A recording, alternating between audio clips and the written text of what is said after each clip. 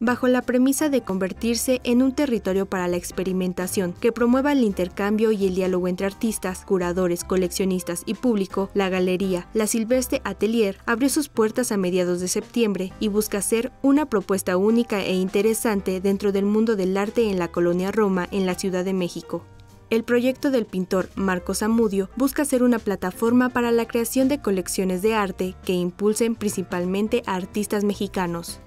La galería se sitúa en una casona de la época porfiriana en la calle José Alvarado número 7 y acoge cerca de 30 artistas con una colección de 100 obras, en su mayoría de arte tradicional, realismo e hiperrealismo. La idea surge cursimente como el sueño de estas tres personas, de estos tres coleccionistas, era poner una, una galería para ellos. Pues yo les doy como que ese punto de hacerlo vistoso para la gente y es como ellos deciden alquilar esta casa, que es del siglo XIX, y albergar aquí parte de su colección y después eh, obra que está a consignación.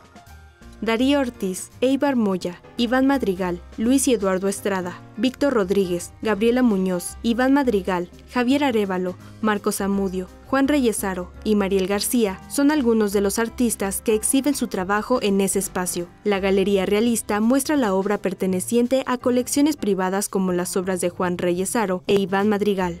Para conocer la galería, que tendrá mesas redondas, encuentros de jazz acústico y charlas relacionadas al arte, habrá entrada libre a previa cita, a decir del propio galerista Marcos Amudio. Que no dejen de visitar la galería, es un espacio nuevo en el sentido de que bueno, apenas se abre, pero no tan nuevo porque curiosamente ahora el arte tradicional va a contracorriente, porque lo que está en boga obviamente no es esto, ¿no?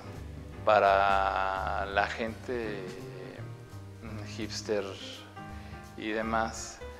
Eh, uno es un salvaje, precisamente también por eso surge esto. Somos unos salvajes, unos eh, silvestres que ya no conocemos de arte, o sea, ya. Nosotros ya no conocemos de arte, ya no conocemos de lo que está en boga. Entonces, ahora ellos son los que nos enseñan. Entonces, pues bueno, incitamos a la gente a que venga a ver obra contemporánea del pasado. Entonces, bueno, aquí estamos.